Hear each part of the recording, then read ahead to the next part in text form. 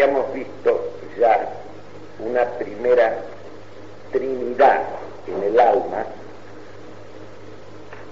racional del hombre que denuncia la imagen y semejanza de ella con la Santísima Trinidad.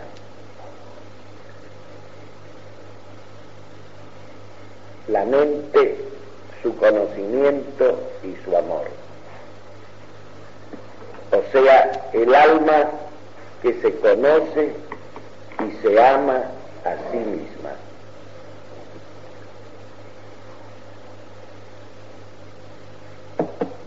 Ha sido por el camino de la fe por el cual el hombre ha llegado a ese conocimiento del alma como imagen y semejanza de Dios.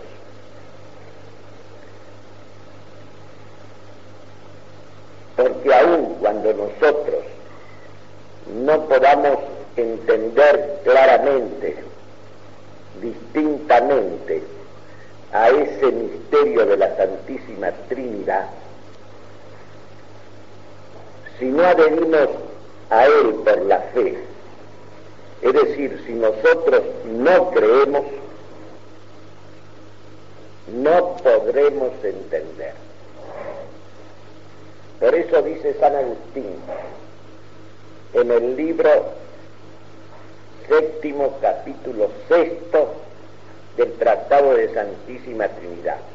Y si esto la inteligencia no lo comprende, lo retenga la fe, hasta que brille en los corazones la presencia de aquel que dijo por su profeta Isaías, si no creéis, no podéis entender.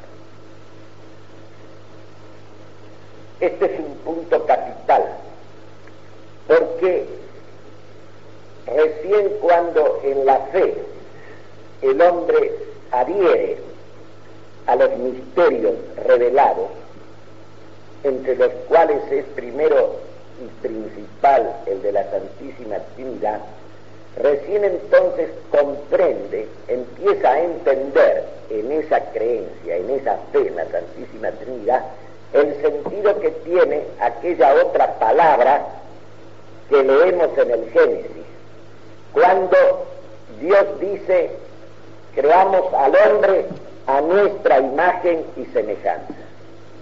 Creamos al hombre a nuestra imagen. Está aludiendo a las tres personas, aunque no lo exprese esa palabra de la Santísima Trinidad.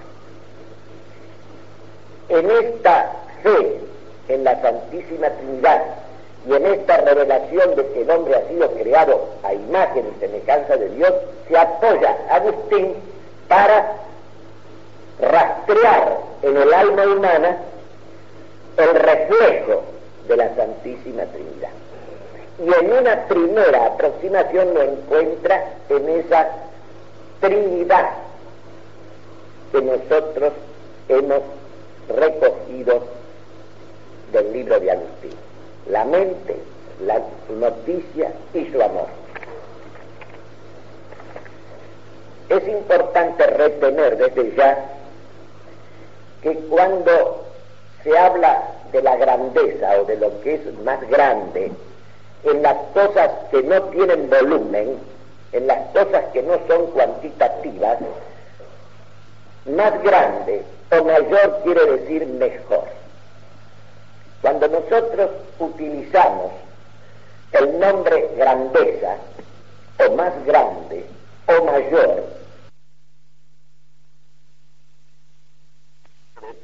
es Cristo mismo, es la verdad misma.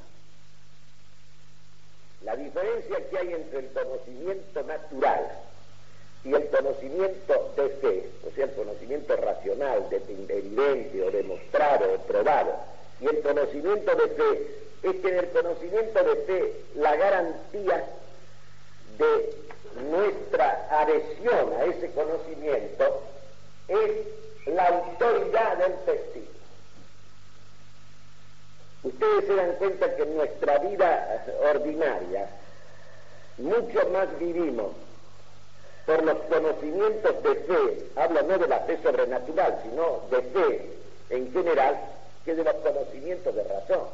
Si nosotros, por ejemplo, no le creyéramos al prójimo cuando nos dice, ha pasado tal cosa, aunque usted no la haya visto, y nosotros no adhiriéramos a mil afirmaciones o negaciones, simplemente por la autoridad del testigo, que nos merece confianza, no se podría vivir.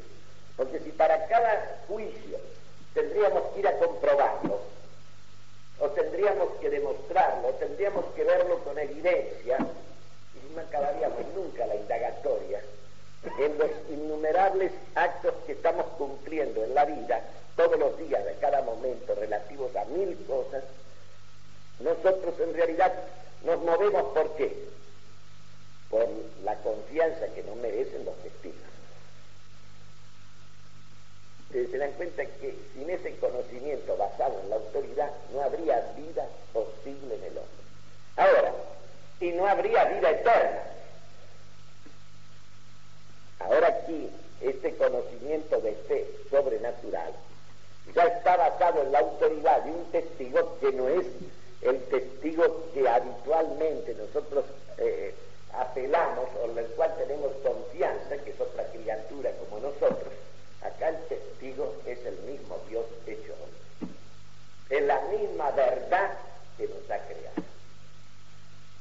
Entonces, amamos a Dios en base a ese conocimiento de fe, cuyo testigo es el mismo Dios, al cual precisamente nosotros adherimos en la fe movidos por Él.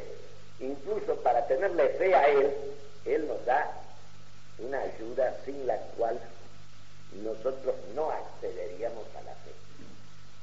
Precisamente porque se trata además de verdades que exceden la capacidad natural del hombre para encontrar. En cambio, en los conocimientos ordinarios de fe, aun cuando nosotros no hayamos visto lo que nos dice el prójimo que vio, podríamos ver por nosotros mismos. Podríamos comprobarlo en muchos casos, en otros no. Porque nosotros, ¿por qué sabemos que somos hijos de nuestros padres determinados? Lo sabemos exclusivamente por un conocimiento de fe. No hay otro, garantía, otra garantía no tenemos. Claro, eso es claro. Es decir, en los conocimientos ordinarios de fe se trata de un nivel de verdades accesibles a nosotros, aunque no podamos nosotros en muchos casos acceder a ellas, pero no porque nos exceden, sino porque por las circunstancias, ¿eh? porque se trata, por ejemplo, de cosas pasadas, por ejemplo, no podemos volver, no podemos verlas nosotros cumpliéndose, ya se cumplieron, ya pasaron. Pero lo que yo quiero insistir, porque en general el racionalismo y, todas estas eh, creencias o, posturas modernas al hombre lo han deshabituado de el valor que tiene la fe, el conocimiento de fe, aún prescindiendo de la fe sobrenatural.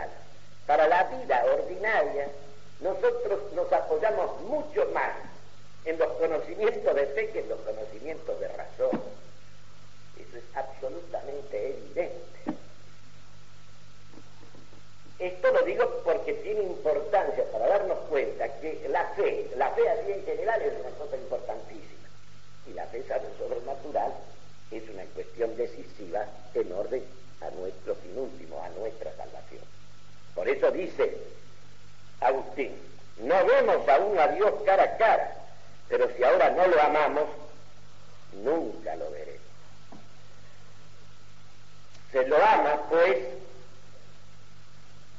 ignorándolo, ignorándolo en el sentido del conocimiento de razón, pero conociéndolo en la fe, en la fe sobrenatural. Y ahora vienen unas reflexiones que aunque nos apartan un poquito de, del tema, es decir, nos apartan un poquito, pero estamos dentro de él, como es palabra de Agustín que merece comentarse, en el capítulo sexto del libro octavo, dice Agustín algo que hoy es, digamos así, un motivo del comentario permanente. El que ama a los hombres ha de amarlos porque son justos o para que sean justos. Porque uno dice amor al prójimo y no especifica. Conviene distinguir.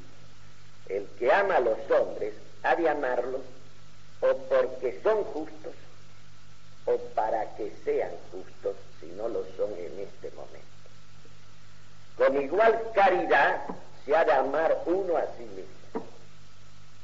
Es decir, porque se es justo, porque uno es justo o para llegar a ser justo.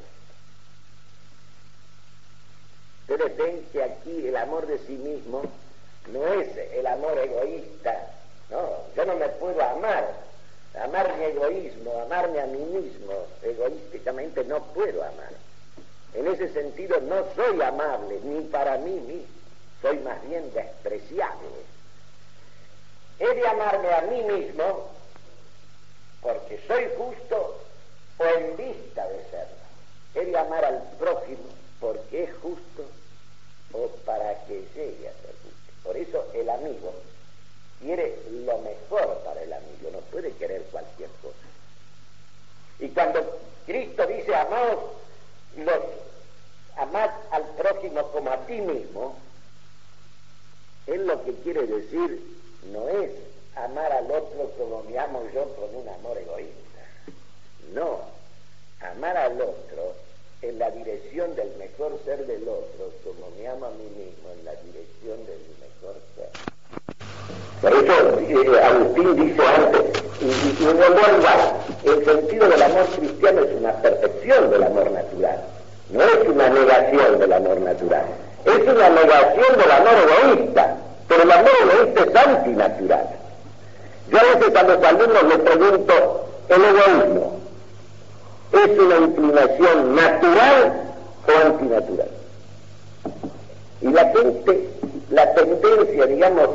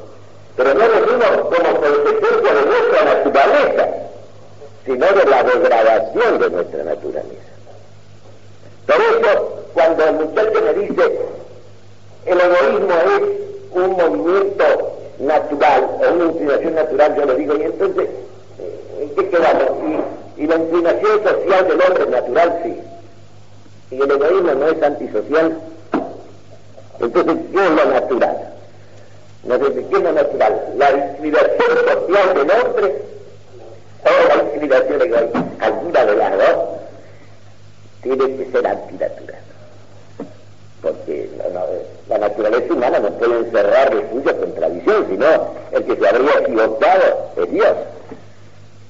Entonces se ve claro el problema. Porque el egoísmo separa. Y la tendencia natural del hombre es a unirse al prójimo.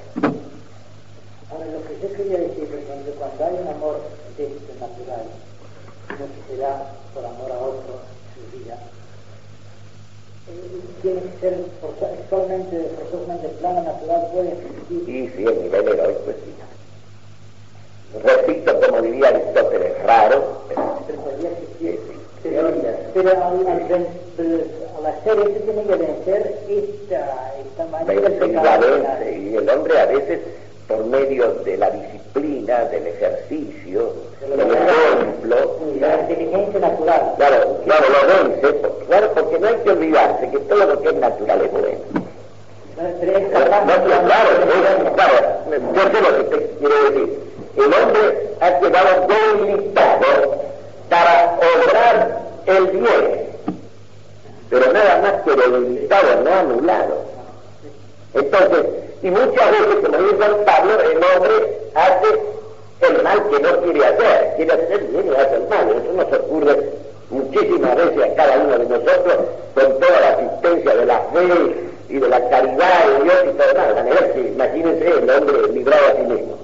Todo eso, eh, Platón recuerda, creo que en el menor, de un gran poeta, cuyo nombre me he olvidado, de la antigüedad, que tiene unos versos maravillosos, que dicen así. Llegar a ser virtuoso es difícil al hombre. Estamos hablando del hombre en esa situación. Llegar a ser virtuoso es difícil para el hombre, pero permanecer en la virtud imposible. Y de esos que, o sea, de lo que agrega, había el comentario de Platón, dice, y aún esos que obran actos virtuosos son dos privilegiados de los dioses. Es decir, alude a una asistencia especial de los dioses para que el hombre se eleve a la virtud. Ahora él dice, permanecer virtud imposible.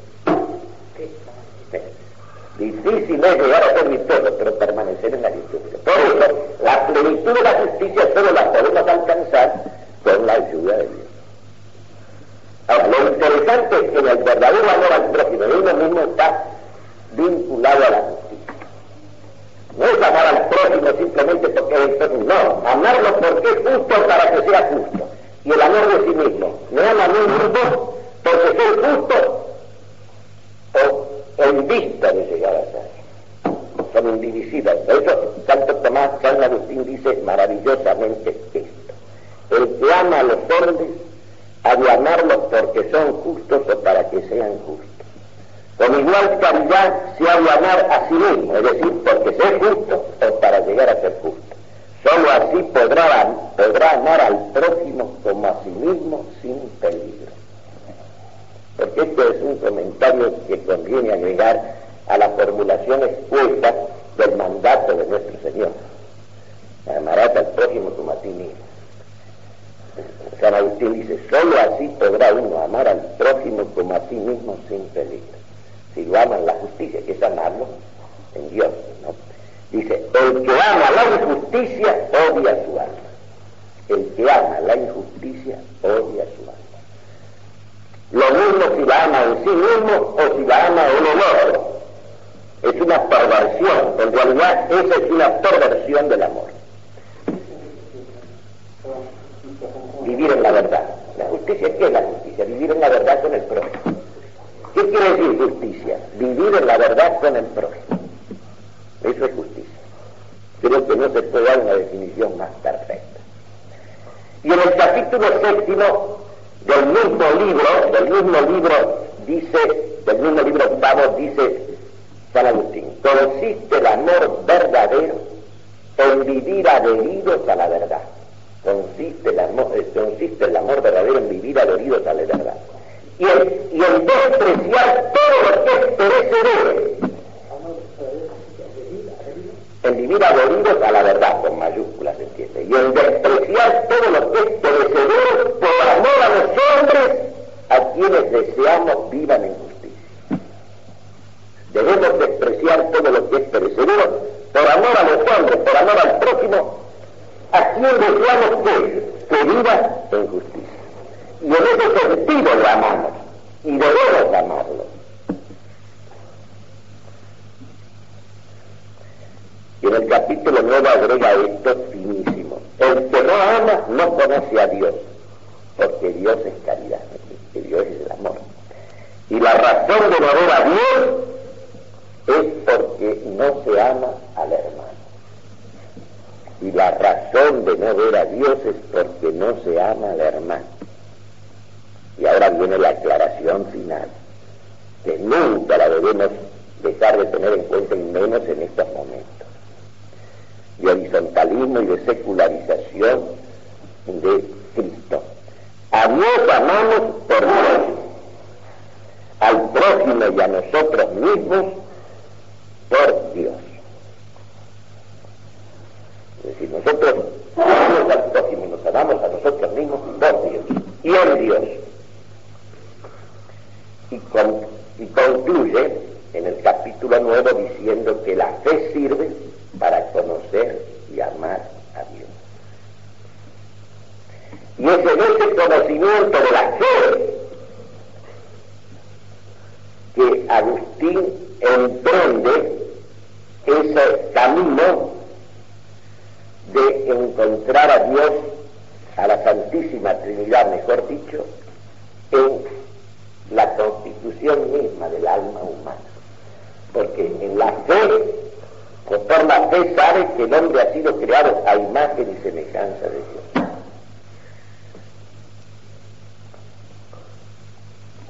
La constitución misma del alma del hombre. Del alma humana. Es lógico. Si el hombre ha sido creado a imagen y semejanza de Dios, evidentemente, ¿qué es lo que en él puede ser, digamos así, eh, imagen y semejanza de Dios?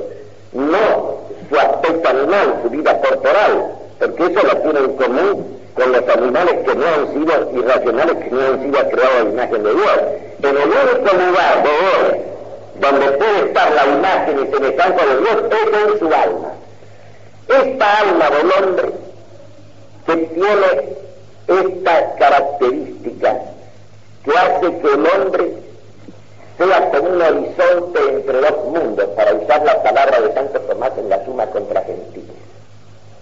Participa por un lado, culmina por un lado, corona el mundo visible, el mundo corpóreo. No existe un cuerpo más perfectamente hecho y organizado que el cuerpo humano. Entre todos los cuerpos que hay en la naturaleza, el cuerpo humano excede en perfección a todos nosotros. Y virtualmente nos encierra a todos. Por eso el hombre es en dos sentidos. Por un lado es un compendio de todo el universo visible. En él están todos los elementos y potencialmente todas las formas constitutivas de los demás seres materiales todos los organismos en cualquier animal Claro,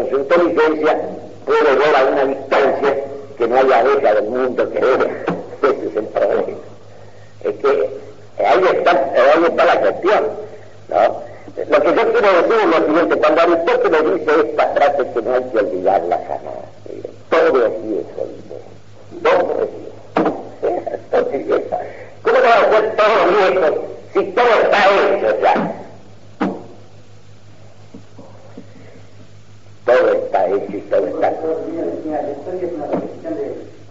Claro, a pesar de que dicen que no se repite. Claro, no se repiten concretamente, materialmente, individualmente la misma series. Pero ¿por qué Aristóteles decía todo eso? Porque, porque en el orden de las cosas creadas, el hombre no puede inventar nada, el hombre puede inventar, puede repetir lo que Dios ha hecho.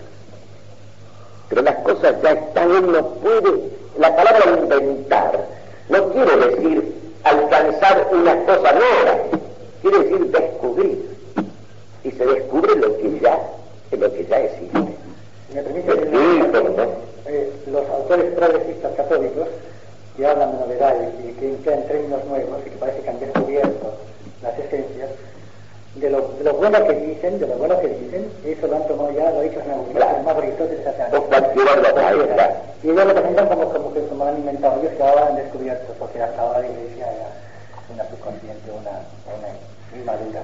La, y, y lo terrible más, hasta a una hora, como vamos a ver en forma sumaria, fíjense ustedes que digamos, cuando hablan eh, estos modernistas y qué sé yo, y, la nueva psicología, el descubrimiento del hombre interior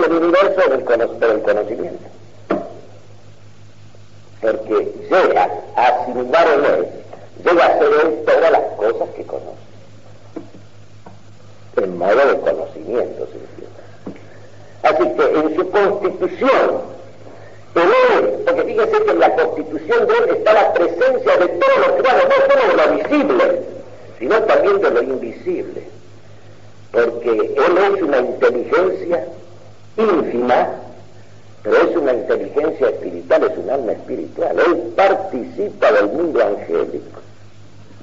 Este es un asunto importantísimo.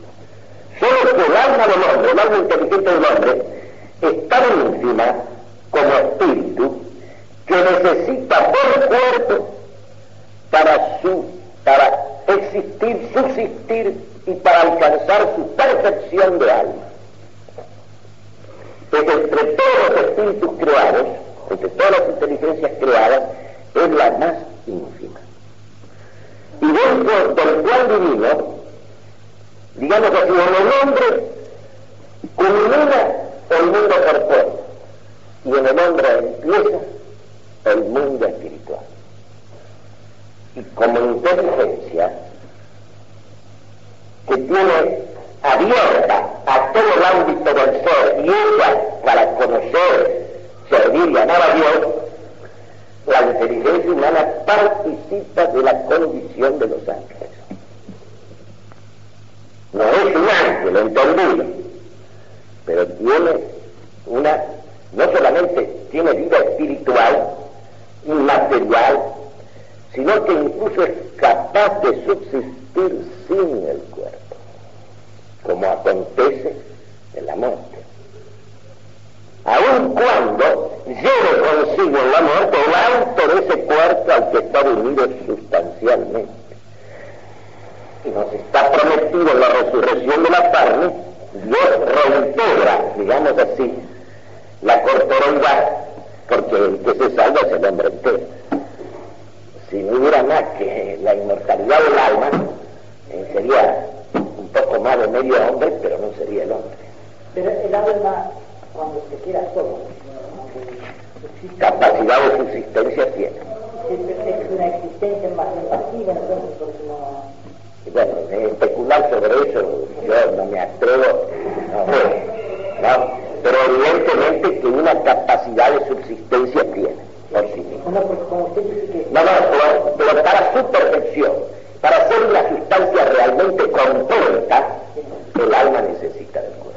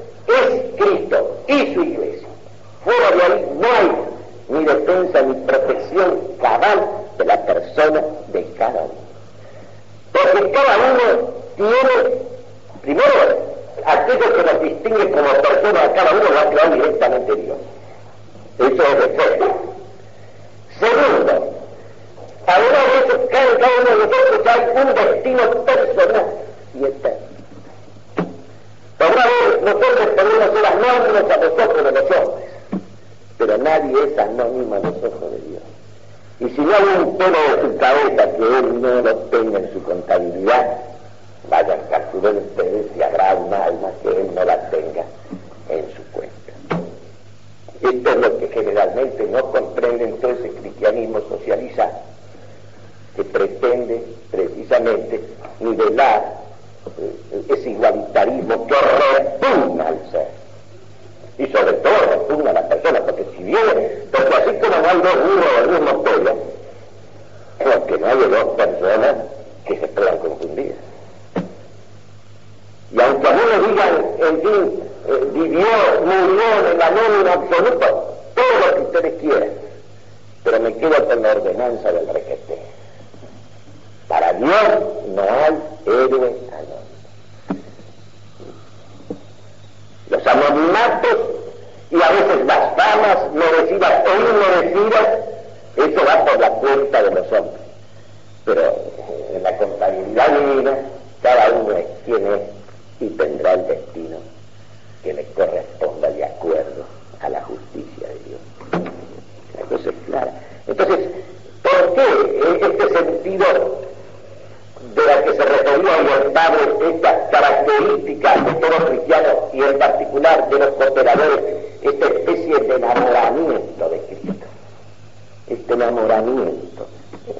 Ese enamoramiento de Cristo es el enamoramiento del hombre de la persona humana, porque es en ese amor de Cristo donde llamamos verdaderamente al hombre, al prójimo y a nosotros mismos. Porque eso es amar por la verdad, y no puede haber amor que sea fuera de la verdad. Vean qué hermoso, bien, esto, esto es ser, yo a veces cuando leo a estos santos, además eran santos, ¿no? es curioso, San Agustín antes de su conversión y pasó los 30 años y era profesor de retórica, era un profesor de retórica más. No hay nada que lo haya destacado. Creo que escribió algunas cosas que se perdió del tiempo de su vida pagana, pero no, no se destacó en nada. Algunas condiciones tendría, pues porque se le abrió camino, pero a veces se le abre a uno por favoritismo y no por, mérito, y, él estaba en Milán ejerciendo como profesor de retórica cuando conoció a San Ambrosio y la palabra de San Ambrosio junto con las lecturas de los platónicos, etcétera, fueron operando en esta transfiguración. Y lo, claro, me olvidaba lo principal, de la madre. Y bueno, evidentemente esto es lo principal porque esto es una apelación directa a la acción de Dios. Y San Ambrosio a lo mejor también haría las cosas intencionadamente, ¿no le parece tal? Frente a este hombre. Y después él se convierte, se convierte en gigante. Y uno puede decir sin ninguna exageración que después de San Pablo tal vez no haya una palabra más profunda y elocuente que la de él. Y dentro de los españoles, San Juan de la Cruz, que es un agustiniano, digamos, que está en, ese, mismo estilo y modo, tiene cosas que, son realmente deslumbrantes. En el cántico espiritual, en la parte de comentarios, dice, y esto sí, directamente nos atañe, el alma más vive donde ama que en el cuerpo que anima. Más vive donde ama que en el cuerpo que anima. Porque en el cuerpo ella no tiene tiene su vida, sino que es el alma que le da vida al cuerpo. Es decir, el alma es antes vida del cuerpo. Y el alma vive, en cambio, por amor en lo que ama. El alma vive por amor en lo que ama. Y acá está la trascendencia del amor humano, así como hemos visto la trascendencia del conocimiento gravitando la inteligencia hasta llegar a ser todo el universo conocido. El alma está tanto más en lo que ama, lo cual es un hecho evidente.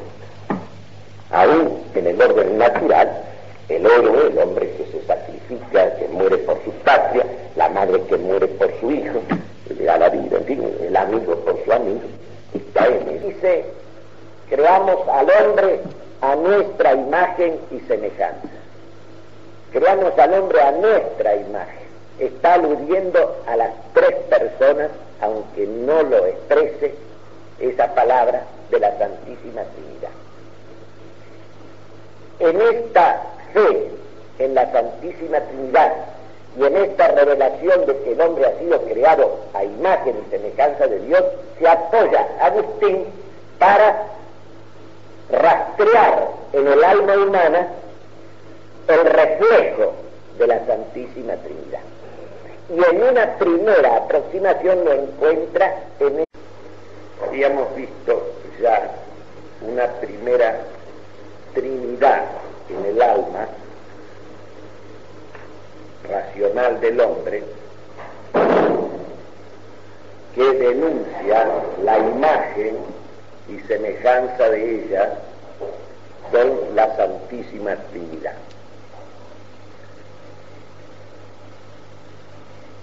La mente, su conocimiento y su amor.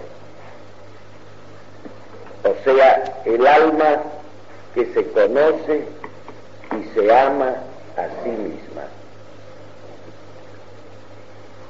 Si no adherimos a Él por la fe, es decir, si nosotros no creemos, no podremos entender. Por eso dice San Agustín en el libro séptimo capítulo sexto del Tratado de Santísima Trinidad. Y si esto la inteligencia no lo comprende, lo retenga la fe, hasta que brille en los corazones la presencia de aquel que dijo por su profeta Isaías, si no creéis, no podéis entender. Este es un punto capital, porque recién cuando en la fe el hombre adhiere a los misterios revelados, entre los cuales es primero y principal el de la Santísima Trinidad, recién entonces comprende, empieza a entender en esa creencia, en esa fe en la Santísima Trinidad, el sentido que tiene aquella otra palabra que leemos en el Génesis, cuando Dios dice, ha sido por el camino de la fe, por el cual el hombre ha llegado a ese conocimiento del alma como imagen y semejanza de Dios.